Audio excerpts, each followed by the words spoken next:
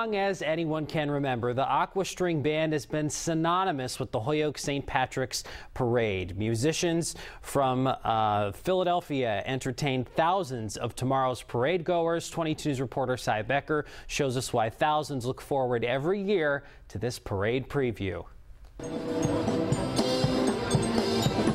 When the Aqua String Band plays, people dance. The Holyoke Grand Colleen, Sheila Fallon, and her court joined the crowd as they appreciated these world famous entertainers.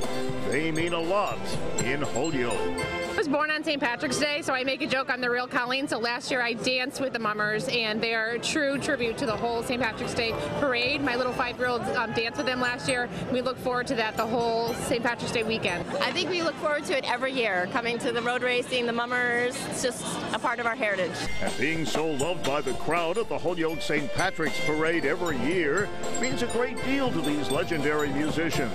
And the crowd loves them. And I love the St. Patrick Parade. I love it. And I think I love the, the, the mummers. The Aqua String Band put on quite a show. But this is just a preview of their performance during the two and a half mile parade route on Sunday before tens of thousands of cheering onlookers, all attending the Holyoke St. Patrick's Parade.